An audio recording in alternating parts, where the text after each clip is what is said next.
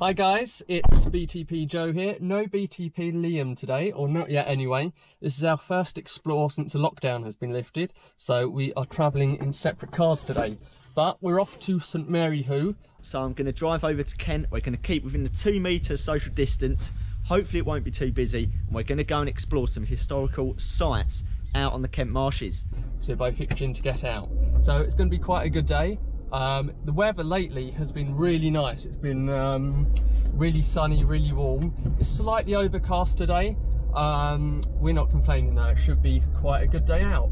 So without further ado, let's hop in the car and let's go and check them out. Uh, Liam is travelling out in his Mini. I'm here in my KA and we should be meeting up in about, well, 40 minutes. So if you can see through my uh, dirty windscreen, Liam is uh, just pulling up. He's just uh, um, found a little spot. There he is. I've been here for a while though. But uh, now Liam is here, shortly we'll head off. With of course the uh, lockdown haircut. I don't know who's got worse. I think I'd probably take that award. So the team had assembled on St Mary's Marsh in Kent, overlooking the Thames estuary where back in World War II there would have been a huge jetty or boom cutting off the entire river from shipping. It would have been a kind of checkpoint. We checked out the concrete ruins that remain associated with the boom. So this little hut here was actually part of the communication control, I believe, for a boom or a jetty which spanned across the entire River Thames. It went all the way to a place quite close to me and Joe's heart. It went all the way to Canvey Island, and unfortunately, all the traces of this area on Canvey at Scars Elbow Battery, which was a defensive battery, have been demolished. Only about 20 years ago, um, there was still a lot of it left, but that was before we started exploring. Um, so, unfortunately, we missed those bits. But look, here it is today, and you can see here someone's said some um, very wise, very grammatically correct words. All your base are belong to us. Brilliant poetry that. So if we just take a little look around it, Joe's inside having a look. The door's still on there, still with the paint. We've got some sort of window sill. Perhaps there used to be a window and this has been plastered over. Underneath this sort of um, concrete render, we've got this sort of white breeze block type material. So perhaps this was sort of not concrete solidly, but kind of plastered lightweight material. Um, and there's not really all that much to it, but we've got this mast and look how high it goes. It's only made out of wood and there's some kind of sign at the top.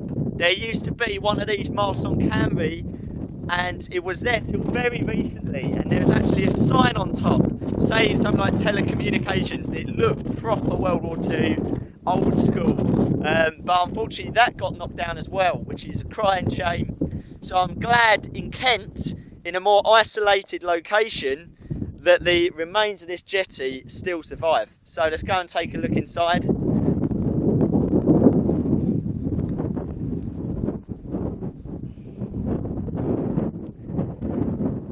So here we are.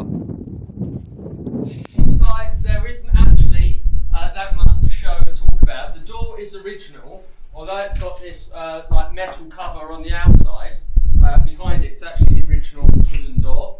This door as well, which would have led through to the next room, pretty solid. Um, although unfortunately it doesn't open, so we have no idea um, what's actually behind there.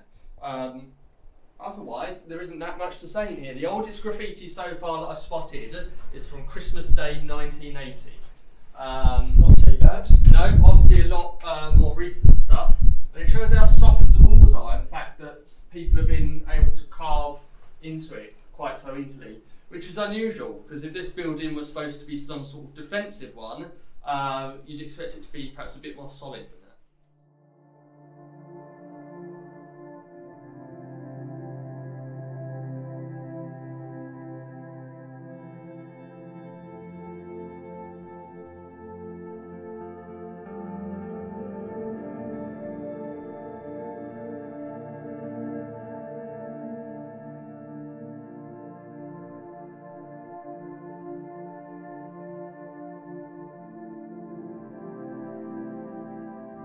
Now I've just noticed something here about the rear of the building. You can actually see it looks like two separate buildings somehow connected together. Because you've got this one with this curb going around the bottom, and then look, you can see a big gap between them. And this one on the right seems to be one made out of the sort of breeze block type material that we're talking about. You can see all of that stuff in there.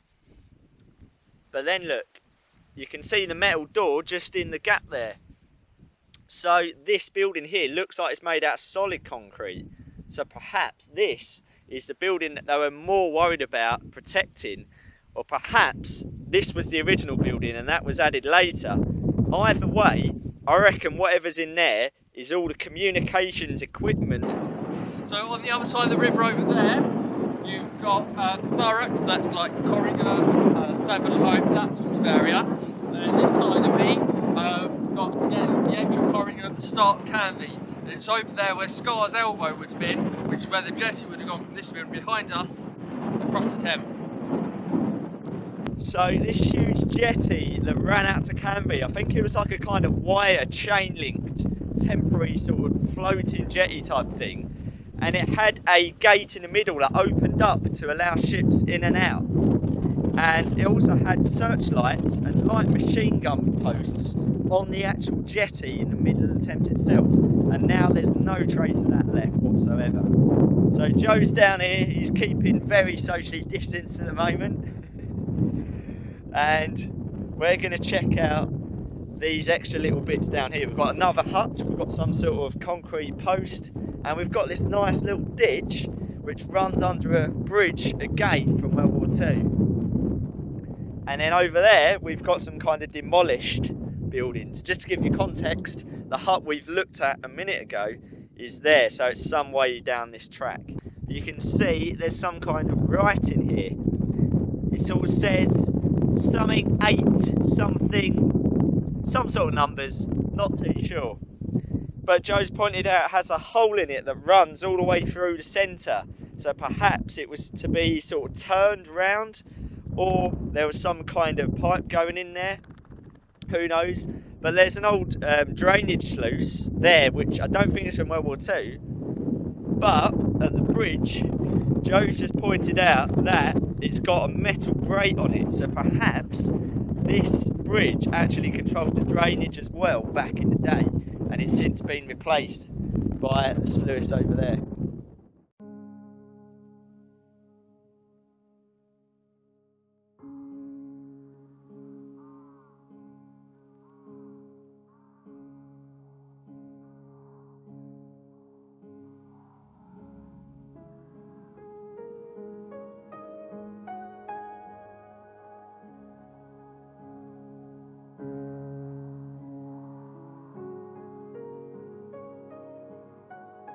The second hut on site that we looked at was made out of concrete blocks with decorative bricks around the entrance.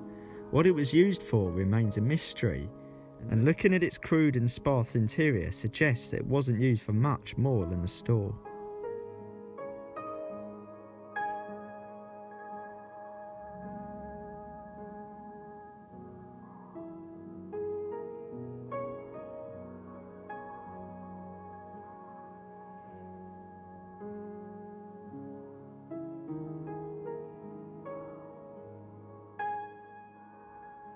It's really collapsing this building. Look at that, it's falling down in the corners. Um, and over in the corner, we've got some sort of base which could be for like a generator type thing. Who knows? What do you reckon in here? It's interesting how it's always got that um, the natural light up there rather than any sort of light fixtures. Um, so essentially just a hole for light. Like there's no sense of power or any cables come to this building um, which gives an indication of its age. Over here we've got these sort of demolished piles of rubble. So I'm guessing some kind of building would have been in here at one point. Now what's left is a mixture of concrete and what looks like actual natural rocks. So perhaps there was just some rocks dumped here. Perhaps this wasn't actually a former building. Who knows? Joe taking some photos over here where we've got what looks like the base of a much larger structure which would have gone here. perhaps this might have been just like a temporary, um, a temporary shed for like accommodation or something, or for like a sort of temporary office type of building. Um, I can't imagine they'd have a concrete building this large for what it is. And then we've got some sort of concrete section at this end, which does appear to be demolished perhaps there was, yeah, some sort of shed. oh, there we go. Yeah, it must have been some quite a big building. Oh no.